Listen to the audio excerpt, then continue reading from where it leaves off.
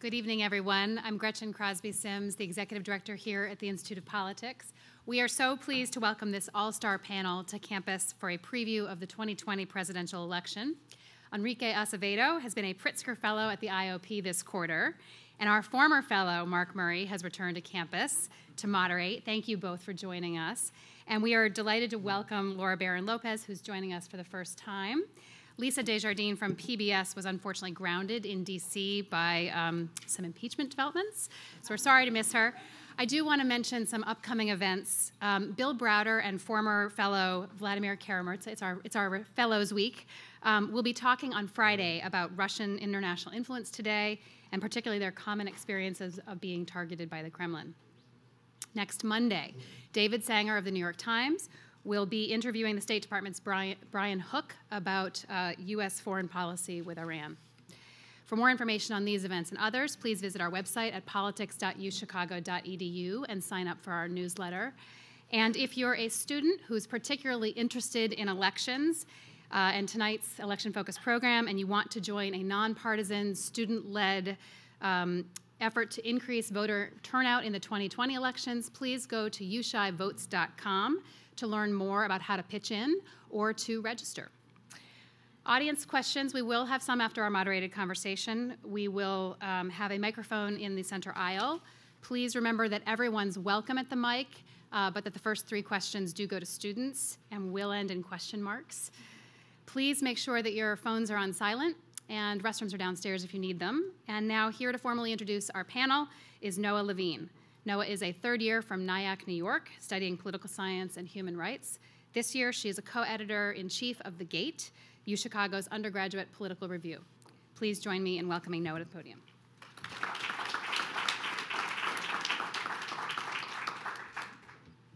Thank you. We are witnessing one of the most consequential election cycles in our country's history. Debates over centrism and electability plague the Democratic Party, while moderate Republicans face the decision of whether to rally around President Trump for a second term.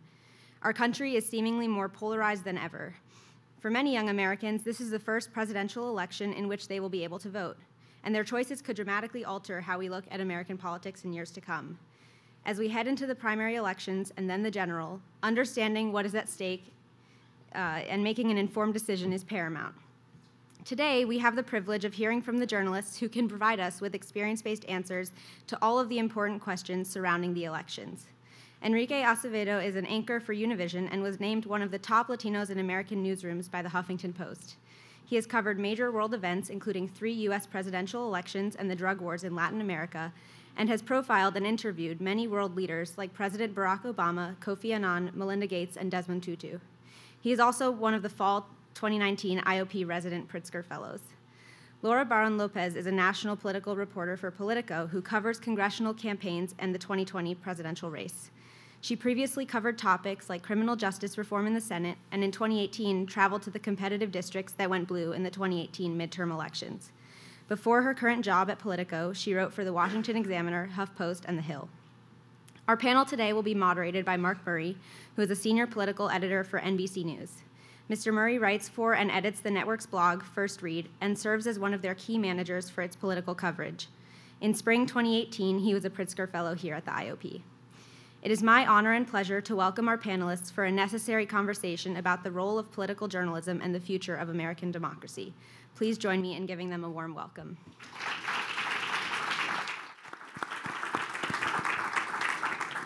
Noah, thanks for that kind introduction. We're now a year removed from the 2020 uh, presidential election. We're fewer than 100 days before Iowa and New Hampshire. I'm someone as a political journalist, I actually like to be able to count the votes. Uh, and as sometimes we often end up talking about elections that take two or three years before we finally get to that vote counting stage but we are actually here at the next best thing is to being able to talk about it. Mm-hmm. And I, I want to turn to both of you for your experiences on the ground, interviewing candidates, more importantly, interviewing voters. And one of the big questions as we look ahead to the Democratic primary debates and also the contests in Iowa, New Hampshire, and beyond, what do Democratic primary voters and Democratic voters want. And Laura, I kind of, from your conversation with some of those voters, I, I haven't been able to figure it out, and I wonder if you have. Well, I think uh, it's difficult to tell what they want. Um, there are a number of them who still very much focus on healthcare when you're speaking to them. That still is very front of mind for them, which was a big theme of the 2018 midterms. It was something that pushed um, a lot of voters to go to the polls as well as gun control. I remember speaking to a number of mothers who had never been politically active before in places like Virginia and for the first time were deciding to come out and vote. Uh, and in House races that ultimately flipped, they went from red to blue and they were very, uh, very red to begin with. So uh, it's a lot of those same issues because uh, Democratic primary voters know that just having control of one chamber doesn't mean that you ultimately get what you want passed or across the aisle because Republicans still control the White House and still control the Senate. So uh, you, you, very rarely hear about impeachment. Uh, I'm mm-hmm. not sure if you you two have different uh, examples, but I, I, have almost never heard Democratic primary voters raise that issue at all. They're still very much focused on certain policy, um, certain policies. But I think that there is clearly this debate, which you see reflected in the candidates, where there's a section of the base and younger progressives, you know, across all ethnic ethnicities that very much want a more aggressive candidate. They want someone who is going to push back harder on Republicans, uh, since Republicans have moved very far to the right. Mm-hmm. And uh, then there are the older Democrats who are afraid that what happened in 2016 will happen again. And in a way, they're almost just driven by pure fear, and that's why they are flocking to what they consider to be safer candidates. Yeah, Enrique, I've kind of almost seen this kind of dichotomy between revolution that Bernie Sanders is calling for, Elizabeth Warren's fundamental change, versus the kind of Joe Biden, we just want the restoration, let's bring 2016 back again. Status uh, quo kind of thing. But also from an ideological standpoint, it does seem to me that Laura was talking about the 2018 midterms, and Democrats had a simple blueprint. They're talking about health care. They actually wanted to, we want to protect and defend Obamacare. We're going to tell you that, that Donald Trump's going to take it away from you it does seem that we've moved well beyond that 2018 playbook to a kind of a different ideological debate inside the Democratic Party.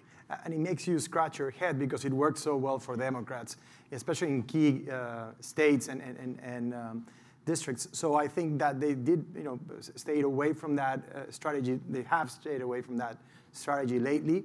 And uh, if you look at polls just today, um, I saw that around 60% of, of voters think that the election should be the way that President Trump is eventually removed from power and not an impeachment. So um, that speaks to, to the, the, the, perils of this impeachment just um, uh, moving forward and, and sort of contaminating the electoral year and, and, and, the primary process for Democrats.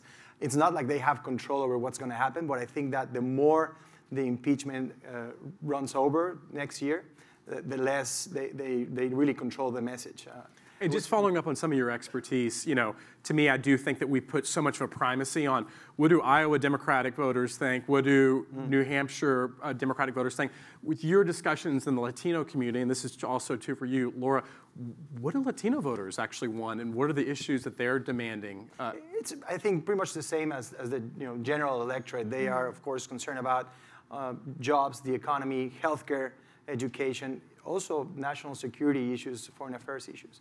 um, I think immigration is not a priority for Latinx voters, but it's certainly a, a personal issue, a, a, an identity issue for them.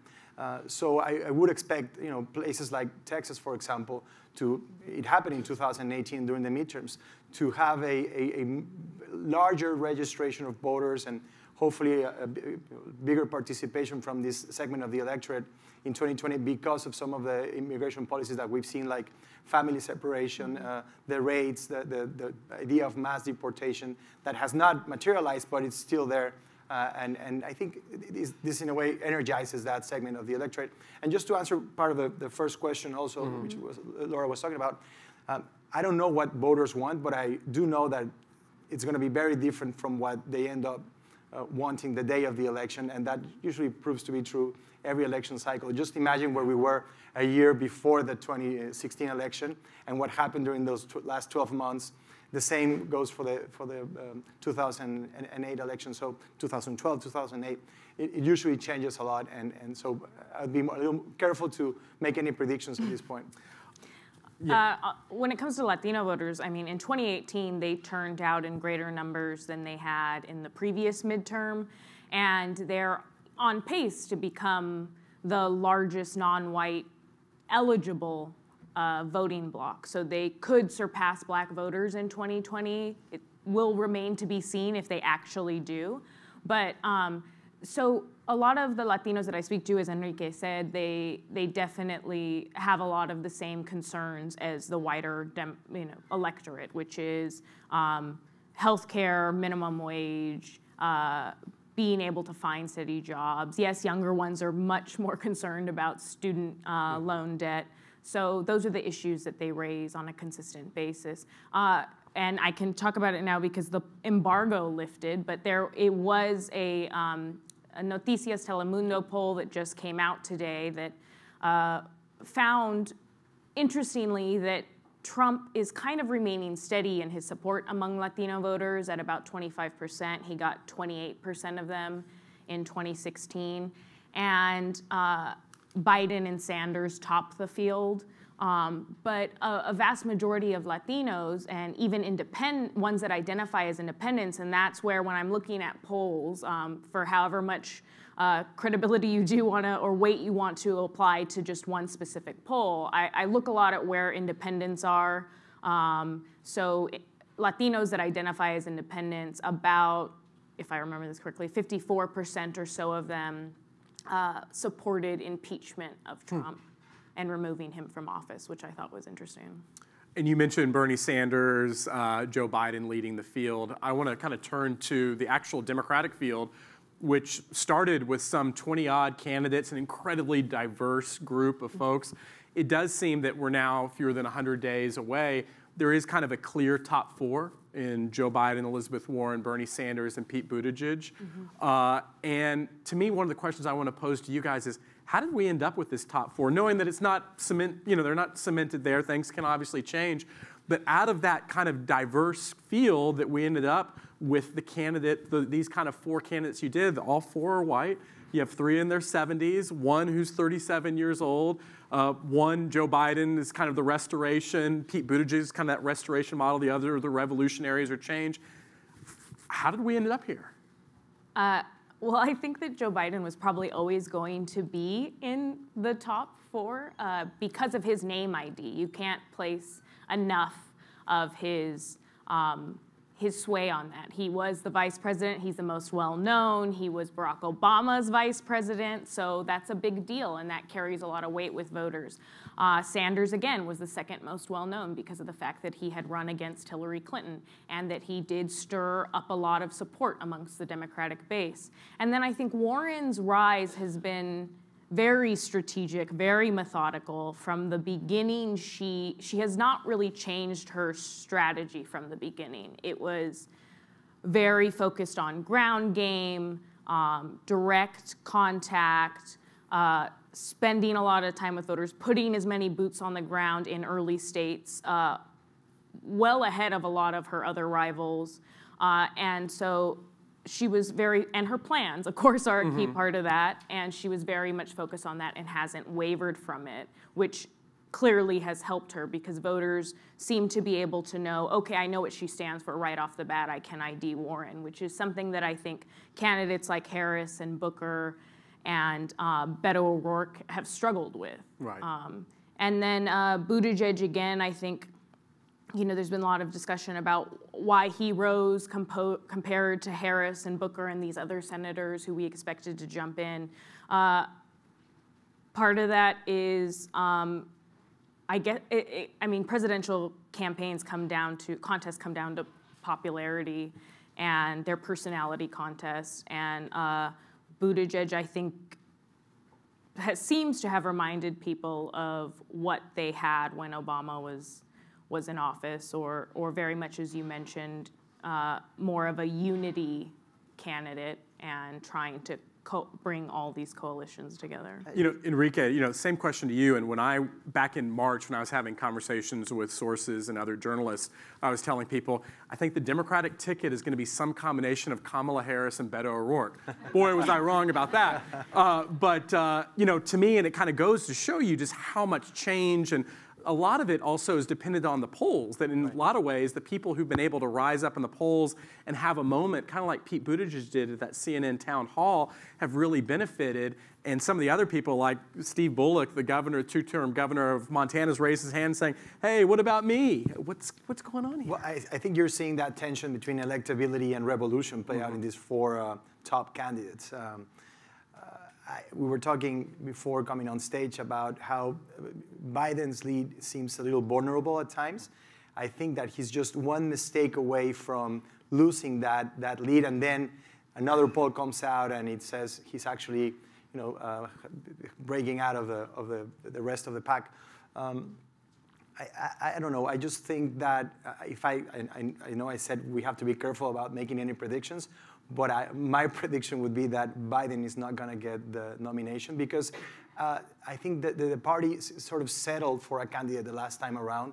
They didn't buy the idea of revolution, of change that, by, uh, that Bernie was selling. And, and they're afraid of making, I think, that same mistake with, with Biden in 2019, well, for, for 2020. So, um, so I think uh, Bernie, Warren, and then Pete Buttigieg, um, they, they have a better shot of uh, clinching the, the, nomination. So Laura, uh, Enrique went down prediction way. Yeah. Uh, same, the, you can either make a prediction or tell us from your own reporting or things that you've actually seen some kind of indication that's out there in Iowa, New Hampshire, or elsewhere. It's going to be something to say, oh, we were, this was a big story that we weren't focused on now, but certainly ended up helping to determine who the nominee was.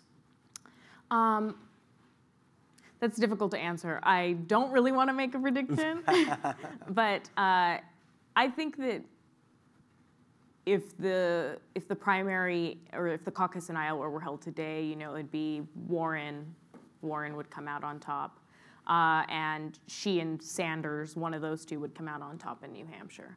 Um, but as when it comes to storylines, I think that what where reporters are trying to course correct from 2016 is uh, very much focusing on not just white rural voters, but uh, on Latinos and on black voters and on black and Latino rural voters and um, and show the public that your picture of black and brown voters is not uh, exactly accurate when it comes to who's voting in these primaries and in these in these states. And so I think that um, you know a big story of 2016 was the fact that that black voters didn't come out as much as they had in the prior election. And so making sure that we report on that and that we cover that. And I think that we have started to make those corrections. Um, so I hope that we aren't missing it as much this time around. Um, a big piece of what 2020 is going to be about,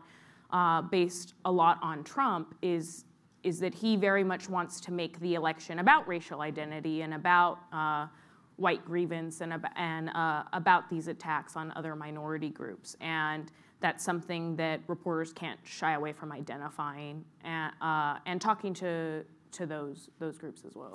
If, i if I may, may add, um, Mark, I think an, uh, another story that we missed in 2016, it, was reported, but we didn't understand its significance in the election was the meddling in the election, the interference, and how that worked out. Um, how social media played a role, um, and and you know how political ads, the way they were um, regulated or not regulated, um, actually end up affecting the result of the election.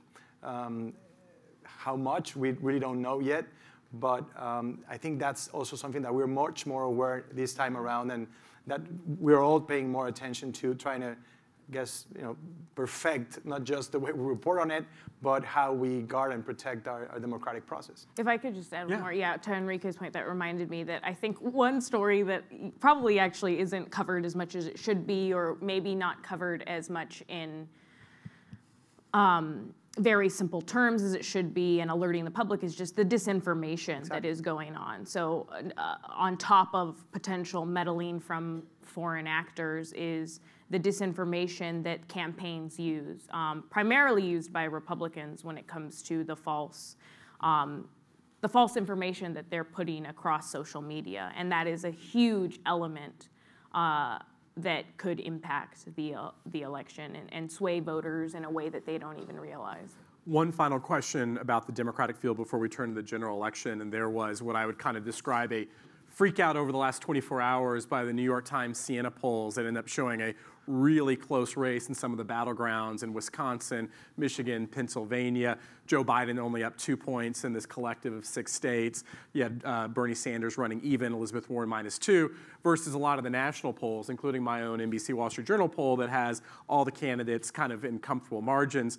In your conversations with voters and also with the candidates and campaign staffers, how freaked out are Democrats now about like the, what ended up happening in 2016? On, on one day, it's like, oh my gosh, we're totally going to destroy Donald Trump. Next day, oh, he's, he's going to end up winning. Uh, what, what, what are you guys hearing? They have to keep in mind that we have an electoral college. Whether some of the candidates are asking to change that or not, the truth is that right now that's how elections are decided. And sometimes national polls miss that. Uh, and you know, even though they, they, they were accurate in predicting uh, the, the result of the 20. Uh, the 16 election in the, the, number of votes and the difference in the popular vote, they were not very accurate in, in, in uh, predicting how the electoral college was going to turn out.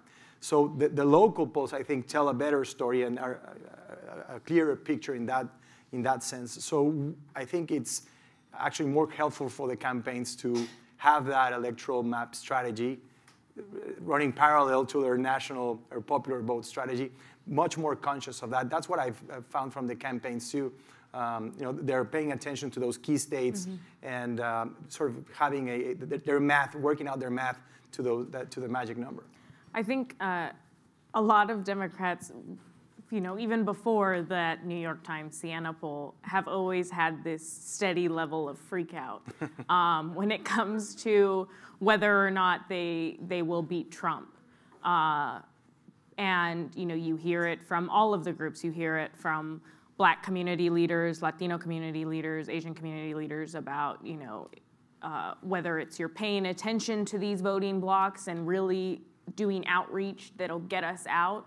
Um, and if you don't, then then you can't possibly beat Trump, and and it's all of those things um, that I think is why they're freaked out. But again, like this is where it's our job as reporters to provide the context with with a poll like that, which is that one poll it's easy to freak out about one poll, but but that things can dramatically change between now and election day, between now and the first um, primary and caucus contest. So, uh, someone, uh, a professor, was circulating this. Um, uh, an example of why don't freak out about one single poll was because uh, in around this time in 2011, like Romney was leading Obama by like five points or something, and Democrats freaked out, like, oh my God, Obama must have like thrown and totally messed up his reelection chances. So. If I remember correctly, Nate Silver had a New York Times Magazine piece, like on Obama on the cover. He's the underdog heading into this and ended up winning by 4 mm-hmm. points mm-hmm. nationally. Uh, Enrique, there, I think this now is a perfect segue into President Trump and basically the state of Trump and what he brings to the table heading into the 2020 election. You know, when I look at my polls and others, what I find amazing is nothing really ever changes. Like whether you have an impeachment or Syria or whatnot, that in some ways his numbers almost never move, which in some ways has to probably, you know, he, he's not performing the way a winning incumbent often would. But he's also not out of it at all yet either. So what, what, what are your thoughts on Trump? He wasn't performing as the winning candidate either before the 2016 election and still won that, that election. I think um, when we talk about impeachment, for example, and, and the, the effect that might have on the, uh, the result of the election, we have to keep in mind that whatever happens to President Trump, to his presidency, his supporters are not going to change their mind. They're not going to abandon President Trump. And the same is true on the other side. Those who don't like President Trump are not going to dislike him more because of the things that we found out during the last two or three years.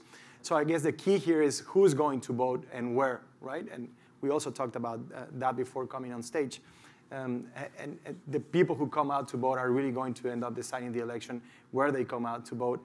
Um, uh, impeachment, Syria are not going to be top of mind uh, when, when election day comes. And, and, and I think um, that decision is going to be based more on, on, on issues like healthcare, on um, you know, the economy, which is working out pretty well for the Trump administration, jobs, that sort of thing. So if they can concentrate on messaging and, and staying disciplined on that, which is impossible with Trump, I know, but um, you know, we'll see how good a job the campaign does in sort of pushing these issues and helping the president uh, re be reelected. Yeah, Laura, you covered the 2018 midterms, of course, mm -hmm. often when the president would be parachuting into states or congressional districts. He, there are elections actually happening tonight in Kentucky mm -hmm. as well as Mississippi, where the president's actually gone in and uh, sometimes is able to move numbers. How do you, how do you see him as a force over the next year? Um, well, he can only parachute in so much given the fact that he's on the ballot this time around. So uh, it clearly helped some Republicans when he did do that in 2018. Uh, it probably helped in the special in North Carolina that we had a few months ago. Uh, but and there was actually a recent article, uh, that I believe that Politico wrote, and it was looking at how his impact on the Alabama Senate race in 2017. And some Republicans had said, oh, if he, or it was actually maybe Doug Jones who said it, someone who worked for Doug Jones, had said that if, if Trump had showed up earlier um, to back the Republican candidate, then maybe the Democrat would have lost. So um, he definitely will try to rally his supporters in that way. He does seem to have an impact when he's able to jump into these races. Uh, but again, he is on the ballot, so he's going to be stretched a little bit thin when it comes to that. Um, I do think that there has been some movement when it comes to, I mean, he steadily is about 40% in approval rating. Uh, but where we did see movement was on the impeachment front, which was that for a good amount of time, um, less than a majority supported impeachment, and now we have a majority of the country supporting impeachment. And yes, a part, a big piece of that is divided along party lines. That it's much more Democrats that support it than Republicans. But there also is a sizable chunk of people who identify as independent voters that support the impeachment and removal of him. So that has been a dramatic change in the last few months, and we saw that that drastic shift after the Ukraine um, transcript and scandal. Yeah, and Mark, I don't know if he's going to be able to rebuild the coalition that took him to, to the White House. And, and this includes anti-Hillary voters. And I think in part that's why the White House insists on uh, painting Biden as the ideal rival, because that's a candidate who, on the electability side for Democrats, they think can beat Trump on those key states, Rust Belt states, but also because I think uh, the, the, the, Trump White House and his campaign, they think that's a candidate that they can paint with that same brush of anti-Hillary sentiment, and something that they wouldn't have with the other candidates, right? They, they have the socialists, so-called socialists, Bernie Sanders, Elizabeth Warren, um, and, and then they have this like um, establishment Democrat who's very much like the same type of rival that Hillary was in 2016. So, so it's key for, for Trump to rebuild that coalition and to have moderate Republicans, uh, with, I mean, to, to take away an alternative for them. So someone that they'll say, I mean, I don't like Trump, but I'd rather vote for Trump than this person on the Democratic side. Yeah, that's a great point, Enrique. You know, when you ended up looking at Trump winning 46% of the popular vote, even with third-party candidates, he can't afford any defections at all. On the other hand, I think to, one of his biggest strengths, and I don't think anyone should ignore this, is he's a relentless campaigner. Mm-hmm. And he is going to throw everything, every charge, probably try to be, be sure to deflate the other side. And yeah, and a piece of that relentless campaigning is the money aspect, right? Which he, combined with the RNC, has far outpaced the DNC when it comes to fundraising. Um, and that's something that Democrats are concerned about because while, while these candidates uh, and the so-called, you know, more grassroots fundraising candidates like Warren and Sanders might look as though they're doing well um, money-wise, how does that translate once if one of them makes it to the general with a, a pretty anemic looking DNC? Uh, and that's an issue that a number of Democrats have been concerned about for years uh, because their party apparatus was pretty much gutted under Obama. And that's one of the things that they don't exactly thank Obama for, which is that he created a very separate organization, OFA, and that really hurt the DNC. Um, and so they're, Democrats are trying to figure out a way to rebuild it to make sure that they have uh, all of their things in order, and they've kind of actually instituted new policies to make it almost impossible for a future Democratic nominee to create an OFA-like organization, the Organizing for Action-like organization. So we talked about the money. We were talked about the relentless campaigning by the president, the social media that we're often seeing.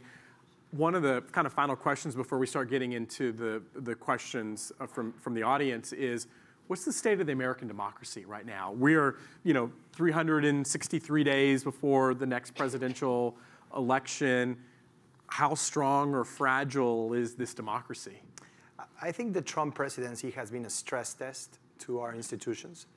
Um, they have been tested in a way that they haven't been in decades, probably since the civil rights movement, uh, or, or, or more than that. Um, we never, even the founding fathers never thought that the threat to our uh, democracy was going to come from the presidency or from the White House.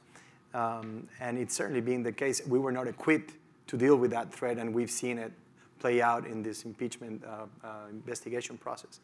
So, um, you know, I think that it's been important for all of us to realize that democracy doesn't work on autopilot. It requires efforts and sacrifices from all of us involved in, in, in, this work in progress that's called democracy. It's perfection, although it's never going to be perfect, but uh, in, in, getting there.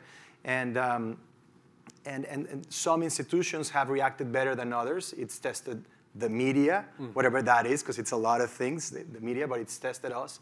Um, it's tested our judicial system, um, the separation of powers, the work of Congress. Uh, so I think you know, they've all, we've all been tested during the, the last uh, couple or three years, and, and uh, hopefully the outcome will be a, a more perfect. Uh, yeah. Um, you know, yeah, is this country ready for the next year, Laura?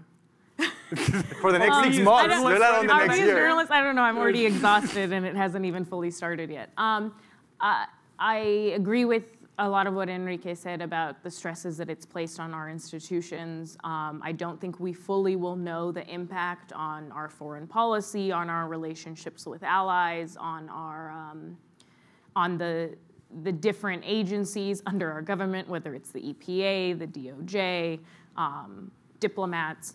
Uh, but I've covered Congress for the last eight years or so. So I'm constantly in the Capitol, you know, walking the halls of the Senate and the House. Uh, and I still do that even though now I've transitioned to be a, a, reporter who covers the presidential campaigns because I feel as though it's, it just uh, helps me keep my edge a bit. Uh, but it is unlike, under Trump, Capitol Hill has been unlike anything I have ever experienced as a reporter before.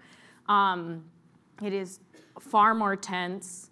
Uh, and um, yes, it, it's far more polarized than it has ever been. It is very difficult to uh, find a Republican senator or House lawmaker who will stray from Trump.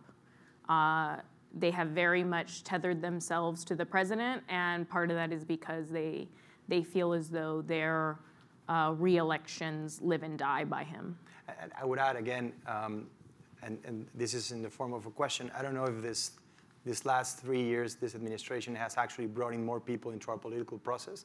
And if that's the case, then uh, in the long run, it might end up being a good thing. Uh, you talk about the stress test. That's a great word uh, mm-hmm. on our own profession as journalists. And when I was here at the University of Chicago back in April 2018, I ended up having my seminars about what the media got wrong in 2016 and how we can do a better job for 2020. What are some of the lessons that you guys might have learned from 2016 and what you're seeing now and how you're applying it to your own journalism? Um, it, it's a bit of what I said earlier, which was, um, you know, making sure that our our coverage is much more in depth when it comes to other pieces of the electorate. So, not just um, you know, there, there was this narrative somehow that came out of 2016 that reporters didn't cover uh, white working class voters enough, which I disagree with. I think that that that we covered that extensively, um, and so it's very much you know trying to focus more on the other parts of the electorate, minority groups, other other voting groups that I think need our attention just as much, and being able to cover it uh, accurately and well. And a piece of that is clearly diverse newsrooms. Enrique? Yes, Yeah. I think diversity is a key word here, um, not just of, of, of, of race and gender, but also points of view and, and generations in, in our newsrooms. Um, I think that if, and we were saying this, uh, uh, Mark, if the Rust Belt was this sort of undiscovered region during the 2016 campaign, and uh, people say we didn't pay enough attention and we didn't have enough voices from that region uh, being part of, of our editorial decisions, I think the border is, is going to be the equivalent of that in 2020. Uh, you're from McAllen, Texas. Um, you certainly uh, know what it is like to, to hear voters in places like Iowa or New Hampshire talk about the border without you know, really knowing what the experience of border communities really is. Um, and I think that's going to be important to bring in those voices. In a way, tragically, the El Paso uh, massacre did that because we, we, we paid attention to the people who were covering that story and to the voices that, uh, of the victims. And, and uh, hopefully, um, that'll be something that, that, that changes in, in our coverage. And I guess from the Univision experience, we were highly criticized for not following the traditional principles of journalism back in the 2016 race. We were the first uh, um, outlet banned from covering the Trump campaign because of what happened in, in the primaries in Iowa when um, our, our flagship anchor, uh, Jorge Ramos, went into a, a press conference and, and decided to ask a question. And then President Trump asked uh, his security team to, to remove Ramos from, from that press conference. Um, so we were not neutral in the sense that we don't think that there are issues in which balance and neutrality apply because there's certainly not two sides to the story of family separation, for example.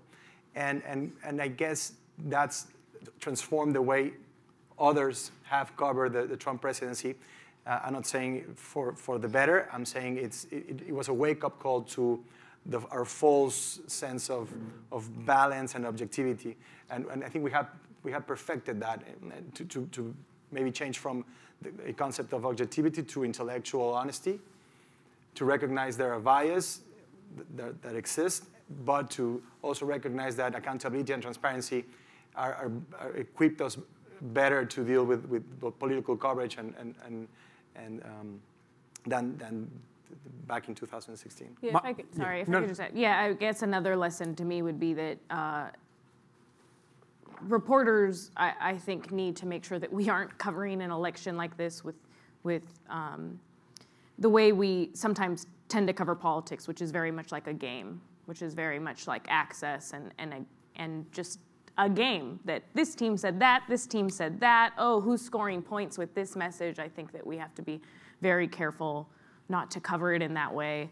And then also, uh, one of the, you know, oh, covering, uh, back to what Enrique said about the story of 2016 with, with the Rust Belt, I think that moving forward, a, a section of the electorate that more and more we're looking at is suburban voters because very much uh, they were key in 2018 for Democrats. Whether or not they still stay with Democrats or move back to Republicans is a question, and specifically white women uh, in the suburbs because they voted with white women voted with Trump uh, by significant margins in 2016, and so whether or not some of them are abandoning them is a big question heading into 2020. Yeah, more voices, making politics serious, the policy. I do think that in a lot of ways there have been corrections from 2016.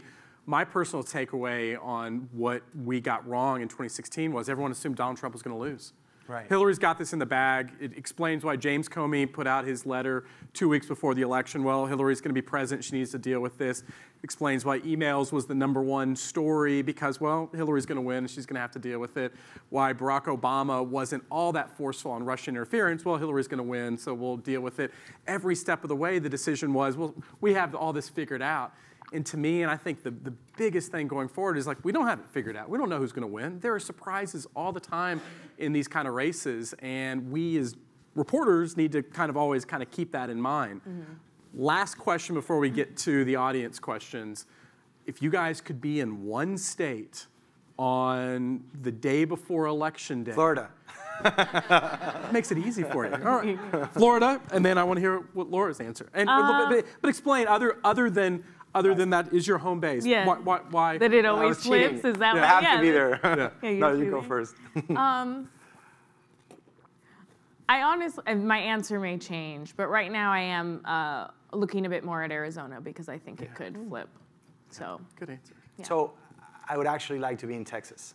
I know, I know it's not gonna turn blue probably in the next election, but the dynamics of that state, they're changing and they're changing really fast. And I cannot stress this enough. Uh, people, when, I, when they hear me say this, are like, oh, sure, yeah. yeah." Well, just look at, again, I've said this example, all the people from the IOP are like, again, you're gonna talk about Harris County? But it's just an amazing example. Uh, the, the, the Harris County judge, a, a Colombian, 27 year old Colombian gay immigrant who's uh, governing around 5 million people, a, controls a, a $5 billion budget. That's more than half of the governors in this country. And she's the first woman ever to hold that position, the first Latino, Latina, Latinx. Um, and uh, you know, uh, that's when you see how things are changing in Texas. Not the result of our presidential election, but how local elections, local officials, that, that, that the face of that political representation is changing. So, so I think it's fascinating. It was fascinating to see how young people came out to vote in Texas in, in the midterms. Uh, in numbers that you know we've never seen, not just in midterm elections, but national elections. So I, I I actually like to be in Texas on, on that day. As the Texan who was in college when Ann Richards was governor, the last person to win it statewide, I've always been a very big skeptic on Texas. Mm-hmm. But to your point, I do think that it really does show the urban suburban versus rural battle in America in the Trump presidency. Mm-hmm. As you mentioned, Harris County, you have Tarrant County out in Fort Worth. I, I you know, I, I'd love to be in Texas and see Awesome. my family. So we'll we'll year. we'll be there together. Great. Uh, well, thank you guys. This was a fantastic panel. Now I want to turn it over to some of the questions that we have, particularly starting with some, some of the students. Hi, my name's Oliver. I'm my first year. Um, I think there's been a lot of doubt um, in this campaign as to the viability of the policies of a lot of the Democratic candidates, given the fact that um, the the likelihood of winning the Senate over isn't necessarily as strong as winning the presidency. Um, I was wondering whether you think um, flipping the Senate is necessarily tied to the presidency in this election, and um, if not, what the likelihoods are in relation to the presidency. you're asking if you think if the if the White House flips, that then does that mean the Senate will flip? Yeah. Or Yeah. I think that the top of the ticket definitely has an impact on Senate races, but the map, just on paper, does not look good for Democrats. Um, it very much favors Republicans. So, uh, and also, I think Democrats have struggled a bit to find the best candidates in states that they need to. Um, and so, this far out, it really remains to be seen. I would probably place my bet on Republicans holding the Senate. Um, you know, I think there's a, a, a growing frustration with uh, paralysis in Washington.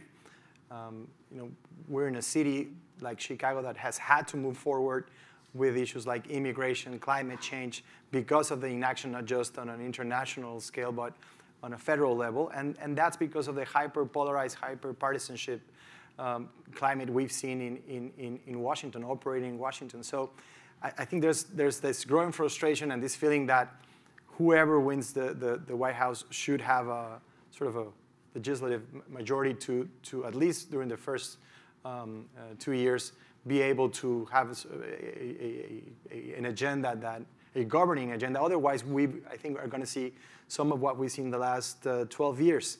Um, nothing getting done there, and, and on issues again like immigration, where there's overwhelming consensus, uh, you just can't believe that Congress is not providing a permanent solution, a comprehensive immigration reform, for example. So, uh, so uh, uh, there's a point in which in a democracy, the will of the majority has to be uh, materialized in public in policies and, and, in laws, and, and hopefully that'll get people energized around, uh, you know, voting in that way. And here's the other policy pickle for Democrats. Even if they do win back the Senate, you're going to have to convince Joe Manchin of West Virginia, Kyrsten Sinema of Arizona, Chris Coons of Delaware to go along with it, and that's not going to be easy to ask. But if they did have one party rule, it would make uh, the president's, uh, if it is a Democrat, their job a lot easier to pass things. Uh, that being said, there is a question about how much Trump has changed the presidency. So if, uh, say, an Elizabeth Warren or a Bernie Sanders wins, uh, or uh, some of the other candidates who have talked, like Harris or others who have talked about using more of the executive uh, powers to enact some of their agenda. Uh, how much would they be pushed to do that if the Senate is Republican?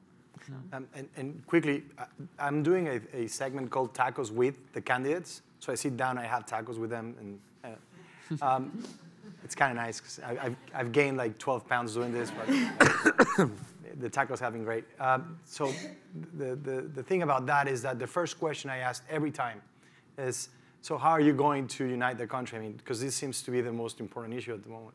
Um, regardless of who wins, they're going to inherit this mess, right? And we're all constantly confronted and, and, and divided. And if you want to get anything passed in Congress, you're going to have to convince not just Republicans, even many in your own party.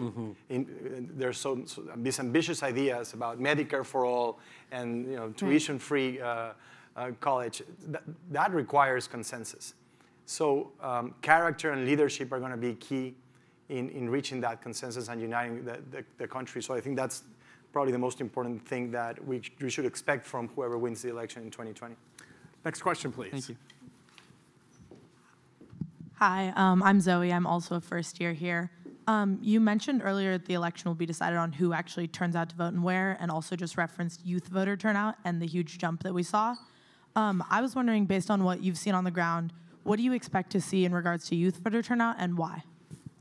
Well, I expect it to be big. I mean, if 2018 is any indication, because yes, uh, the it shows that uh, millennials and the Gen Z, I hope that I'm saying that right. Apologies.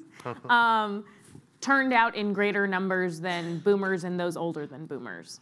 So uh, if you know, then logic would follow that that grows in 2020. Uh, I've seen on the trail, I have seen uh, a lot of young people really energized, really engaged in a way that that you haven't before.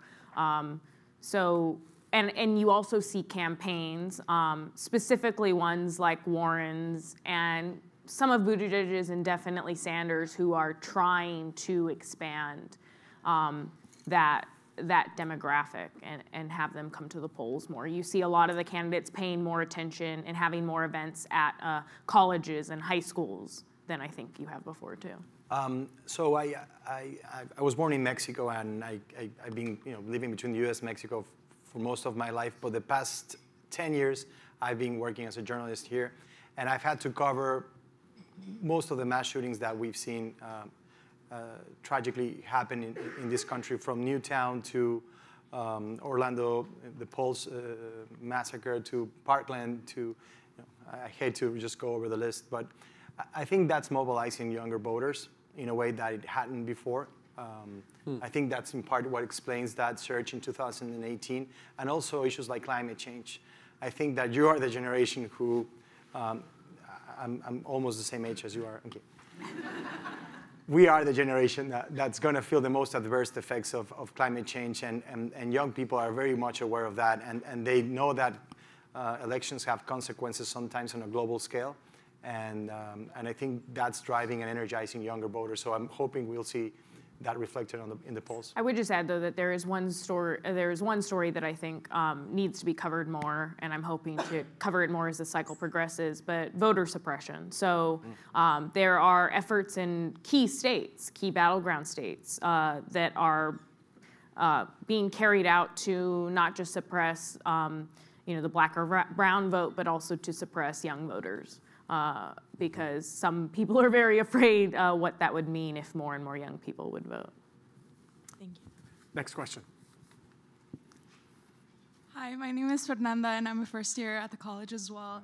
And you mentioned that um, Trump sort of doesn't have this um, Hillary um, enemy to antagonize, but he has had the Fab Four in Congress, and I was wondering if you could speak to how the Fab Four are sort of changing the shift in ideology in the party and what that means for a lot of the candidates who are seeking their endorsement. For example, we ju- uh, just saw Alexandria Ocasio Cortez endorse Bernie Sanders, and what does that mean for his campaign and um, maybe younger voter turnout as well? Right. Um, so three of the four have endorsed Sanders of that Fab Four that you're talking about. Um, I, w- I think Presley may endorse Warren, but that's just an educated guess. Um, so Ocasio Cortez, uh, I'm not sure she has a big constituency nationally when it comes to certain key states, but she definitely energizes young voters. So that's what Sanders is hoping that she'll help him with, which is driving turnout amongst young voters and Latinos. She's in a swing with him now in Iowa over the next few days, and he's going to use her as much as possible on the campaign trail. Um, I think that when it comes to the attacks, yes, Trump and Republicans have very much tried to use Ocasio Cortez and, and those other congresswomen in a way that they used Pelosi. So it's not exactly that different, it's just new boogie women that they're using. So they used Pelosi in 2018 and tried to tether uh, Democrats running in really competitive House districts to her by saying, if you vote for this Democrat, then you're voting for a San Francisco liberal agenda. So now they get to say that, but with a younger, different uh, woman and a woman of color, uh, and say, oh, you're voting for a New York elite agenda or a socialist one, since Ocasio Cortez also uh, describes herself as, as a democratic socialist. So yes, I mean, the attacks will be different. If, if Sanders is at the top of the ticket, Republicans are going to lean heavily into the socialist uh, attacks. If Biden is at the top of the ticket, we've seen that he has tried to discredit Biden in a way that he did Clinton, which is um, paint Biden as very corrupt, which is what he tried to do to Clinton, um, despite the fact that uh, what Trump has been pushing about Biden has been conspiracy theories. So, um, yeah, I, I, think that depending on who Democrats have at the top of the ticket, Republicans will have plenty to, to latch on to. I would just add, I hope that the, the media doesn't characterize those attacks as part of the demographic anxieties of the country and call it what calls it what it is, mm-hmm. right? Um, mm-hmm. they're, they're, sexism and, and, in many cases racism against a, a, segment of, of, of, the population that um, just looks different and it's different from, from what Trump supporters usually uh, look like. Thank you. Next question, please. Hello, my question is about voter suppression. You've already touched on this a little mm. bit, but uh, I had a friend who in 2016 correctly predicted uh, that Trump would win using Nate Silver's 538 database, mm-hmm. even while Nate Silver himself predicted incorrectly. And he contends that what uh, Nate Silver uh, ignored was voter suppression. And he used a very simple formula, which is that in any state with a Republican governor and two houses that were Republican, there would be at least 5% loss hmm. due to voter suppression. Mm-hmm. And I'd like to hear your comments on this and a little more maybe on what can be done in the future, particularly in states like Wisconsin. Right. You know, where, where 66% of the voters are Democrats, yet a majority of the House seats by about the same amount are Republican. I mean, we've been talking about 2018, and, and I think Georgia is a good example of, mm-hmm. of, of, how voter suppression can certainly play a, a, a, a role in the, the result of, of, an election that, that seemed closer than many of us, um, uh, you know, uh, ended up seeing in, in, in, at the end of the day. I, I think it also explains why, uh, when we talk about the power of the Latinx vote and how it represents or could represent up to 13% of the total electorate, it never reflects in, uh, in, participation. And, and people have to realize that you know, voter suppression laws hit uh, vulnerable communities, minorities like the Latinx community, uh, harder than, than others. Also, uh, I think that uh, you know, voter suppression, not just through voter ID laws or restrictions, but through the lack of resources for these um, minority communities in terms of getting them out, you know, campaigns to, for them to get out to vote, to register. That, that's also a hurdle in, in, in them getting to, to the polls eventually. And I, uh, yeah, a lot of this has to do with very much local elections, right? Have a big impact on voter suppression, and Democrats have been a bit slow to realize that. And so they're now launching efforts, whether it's Stacey Abrams or Andrew Gillums in Florida, to try to to try to mobilize um, and make sure that they're boosting registration and, and file lawsuits when are needed. Um, but uh, again, yes, there's plenty of examples of this across key states. I think Georgia just this week per is is planning to or has purged some 300,000 voters from the rolls. Um, an effort by the governor there uh, to suppress the vote. So uh, I haven't been able to look into yet what the response is going to be to that. Uh, uh, I think that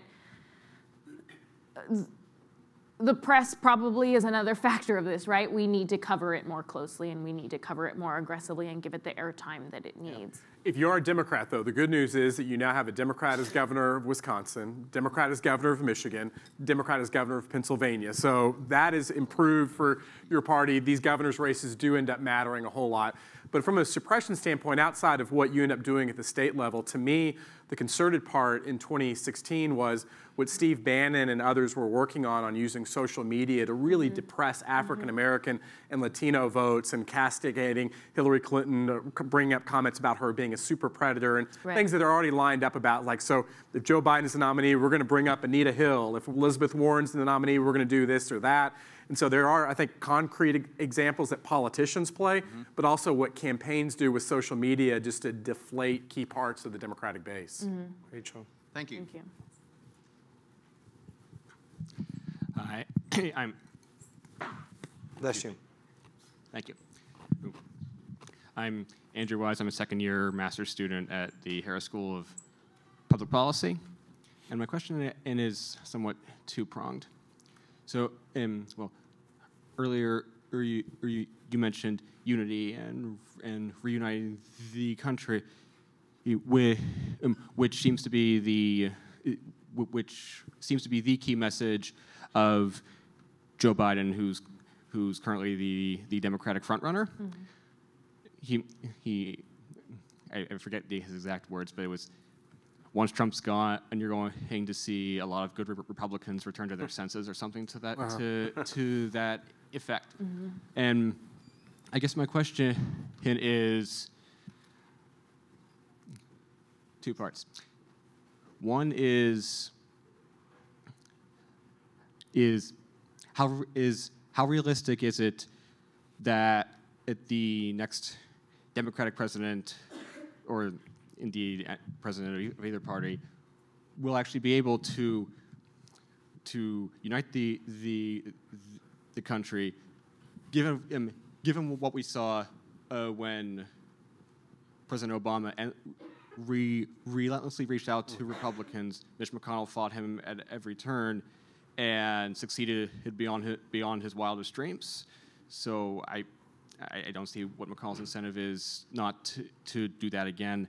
And and the second thing that I've often wondered about is why is it that enacting bipartisan policies is viewed as inherently a good thing, given just in my lifetime, policies like the Iraq War, bank deregulation, the Patriot Act, the Defense of Marriage Act, all had broad bipartisan support, whereas policies like the Affordable Care Act, um, Dodd- um, Dodd-Frank, which created the Consumer Financial Pro- Protection Bureau, passed in very close votes of all, almost strictly along party lines. Laura, why don't you take a stab at the question on does bipartisanship actually matter? And Enrique, to the other, the first part of the question on can they all come together in kumbaya uh, if the Democrats win in 2020? Right. So um, on the bipartisanship question, uh, yeah, I mean, you make you make a, a very good point, which is that, um, which I think that we're seeing the the backlash to that, right? Which which is that there are younger, more a more aggressive Democratic base that is tired of um, bipartisan, conventional wisdom way of operating in Washington, D.C. And it, it's a little bit of what probably also helped Trump win, which is that they're very tired of, of, of the slow pace of progress. Um, and so uh, I think that's why this election will potentially show us whether or not there are enough people across the country that that are tired of that, uh, particularly in who wins the Democratic nomination. So if someone like Warren wins the Democratic nomination, then you'll have your answer to whether or not people are uh, Democratic voters are exhausted with with um, with the way Washington operates, and that they don't believe Biden's answer, uh, which is that uh, I can make Washington operate the way it used to again, which a lot of Democrats don't seem to even want. Uh, they don't necessarily want the Washington the, that operated under Obama.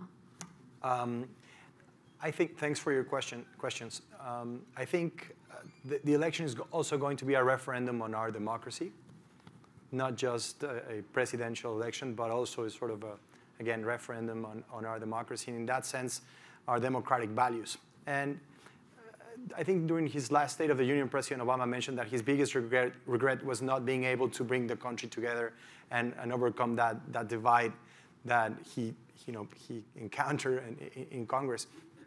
Um, I don't see a, a, way in which we could move forward uh, in, in, this status quo of paralysis and, and, and, and hyper polarization much longer. I mean, that's taking away from our strength, from our institutional strength, from our uh, strength as a, you know, as a, as a world um, superpower. Um, so, so I think it has to be resolved. I'm not sure how, but if, if, if we don't find a, a, the incentives to sort of um, come out of this process more united, it, it's, it's really, I would say, the start of the, of the end of our, of, of our um, superpower status or sole superpower status. I mean, and, and, and, we can go into detail into that and say, well, that's being you know, challenged by China and, and other uh, um, uh, agents and, and, actors. But, but I do think that in, in that sense, that's probably the most consequential part of the 2020 election. And how are we going to solve this, this uh, paralysis? Next question, please. Thanks. Hi. Um, I want to ask if the press is missing a couple of other issues. You've talked about a couple they may have been missing. W one is they're missing the democratic process of looking at polls. I think of course correction wise, we know polls are useless right now, and that Jimmy Carter, uh, um, um, Kerry, and uh, Clinton all did lousy the year before the election. Mm-hmm. And yet they're like trying to wipe out those kind of people with using polls as a way of doing the, the, the uh, debates. And then d- turn voter suppression, the Democrats are suppressing voters more than anyone else because they won't let independents vote. 14 states, it's totally closed elections. And many states, including my own of Arizona, the semi close, where you have to mm-hmm. put your name out and change your party mm-hmm. in order to vote. And those are issues I'm, i I, think are not getting covered enough, and I want to see if I'm wrong about that. Uh, when it comes to polls, I mean, the, the decision to make polls the deciding factor in the debates was the DNC's. It's not the press. So it. They could criticize it. They could discuss it. It's not really being discussed. Right, but that's a party's decision to do that. Uh, it's not, uh, and we've covered it. That that this has been a very heavy-handed uh, way by the DNC to winnow the field, and they chose to do that because they didn't want what the Republicans had in 2016. So. Um, we've written about it as clear as day that that has been what their decision was. Uh, and again, it, it is very much up. I wouldn't say that that necessarily has made it harder for any of the candidates. I mean, you you either are strategic and are able to rise and get the amount of donations. It's not just polls; it's also a po- combination of polls mixed with the contributions that you get, uh, or or you're not. Um, now, that being said, one of the issues with it is that a candidate like Tom Steyer has effectively been able to buy his way onto the debate stage. Um, but that's just my, my pushback on the polling question. Um, when it comes to whether or not primaries and caucuses are open or not, I think that we've covered that. Could it be, could it be more? Potentially, but um, but Democrats have also, in certain cases, tried to make changes to to the primaries to allow independents to vote. Recently, they've taken more uh, more steps to do that, and I think that they're in the process of uh, trying to figure out how to even change it from this cycle to the next. I think that w- this is where we miss local media, right? Uh, we've seen a decline in local coverage, and that was particularly important in, in the local political process. Um, and, and they cover it much better than we could because they know the players better, because they know the issues better, they know the community better. And, and, and this decline in local uh, media platforms and, and, and outlets, I think, has hurt the way we understand the, the local political process. Um, and on the part of uh, polls, I would just add that I think we're placing, uh, you know, uh, the, the problem is not the polls, but our expectations of what the polls can, can, can bring to our coverage. It's not a good predictor of future uh, um, decisions. It's, it's, actually just uh, better at taking the temperature of past uh, uh, decisions. I, I, think that's what polls are, are helpful for. Um, because it doesn't predict how much people are going to come out and vote, and you know, it doesn't predict why and what, what, what issues are usually going to uh, bring uh, voters out on, on, election day. What they say a year from the election is usually very different from what happens on election day. Um, so I think that in, in, that sense, we're also playing, uh, placing too much of an expectation on, on polls to explain uh, our sort of our, you know, the state of our politics. Yeah, and at least on the debate front, you know, this was not a perfect setup at all, but you had 20 odd candidates. How do you actually trying to reduce things? And to Laura's point, every candidate was told back in February, here's the rules on making the debates. And so people did know. But I think to your question, and a friend of mine, Jonathan Rauch, just recently wrote this piece about what a guy like Abraham Lincoln in you know the 1860s have actually been able to make the debate stage and like the former one-term congressman from Illinois uh, been able to do it and possibly not. And the kind of question is is this all process we have where we go for four months and everyone has a primary or caucus a good thing? I do think democracy as a political reporter i think it's great. But if you're trying to just win baby is this the best system that you can actually come up with? I think there's a legitimate debate about mm-hmm. it first year here. I'm just curious to hear your perspective on the term fake news and how it's going to have a role in the reporting of the election, if any. Well, I, I think that if it's fake, it's not news. So I don't, I don't believe in the term and I don't accept it. Uh, I think mis- we talked about this, you talked about this earlier today. Um, you know, misinformation and propaganda play a huge role in, in, in, in uh, the, the, result of our, our elections. It, it, happened in 2016, and I think we all learned from it. Individually, I think we should be more concerned and more responsible with how we consume and share information. Hopefully, we, we all have made that uh, decision and conscious decision to, to be more careful, to verify information, to just navigate our, our, our way through this sort of overwhelming uh, offer of, of content and information better. And um, also, I, I, hope that our you know, government and our election officials have taken note of what happened and, and are much more careful of, of, you know, how they guard our, our democratic process. Laura. Um, the term fake news. I uh, look. Uh, uh, Trump has very much weaponized, you know, that against the press. Has has tried to discredit the press, and yet uh, the vast majority of journalists I know, and I'll speak for myself, um, why I got into this was to hold powerful people accountable no matter what your party is, uh, no matter what place of government you hold. And of course, we're going to hold you accountable if you're the president of the United States. So um, we're not, reporters are not supposed to be politicians' friends. Uh, we're not supposed to paint a perfect brush of anyone. Um, it's, uh, but we do come with the facts and with the truth. And so um, I would hope that the public sees that uh, this election cycle and that we just are as diligent uh, as we possibly can be. And I just want to kind of give an origin on the whole fake news. This was not even a term until the general election of 2016, and it actually started coming about. There were these kind of content mills in Romania and Eastern Europe. They were creating all this content saying that the Pope endorsed Donald Trump. That is fake news. Also, in my hometown of Washington, D.C., there's this place called Comet Pizza or Comet Ping Pong Oh, Pizza, and everyone said Hillary Clinton was running a pedophile sex slave ring in Washington, D.C. at this. Uh, this family pizza place, Mm-hmm. where after the election, someone actually brought in a gun to actually save the children. That was also fake news. Yes. Fake news is not journalism that we get wrong, and we're not perfect. I mean, you know, we sometimes either have a copy editing error or we get a we have to have a correction in our stories. It's also not news that you necessarily disagree with, which how the president the ended up appropriating the term. And to me, I do think, and I'll just agree with you guys, that it, it is very disturbing for the foundation of our democracy on news that when someone, and particularly the president of the United States, says, I disagree with that or that put me in an unfavorable light, that is actually fake news. And seeing other world leaders pick up on it, to me, is maybe the most disturbing development that we've had, at least in journalism, over the last four years. And so I'm really glad you brought that up. And we, I think we have time for one more question before we, we get to the concluding remarks. Yes.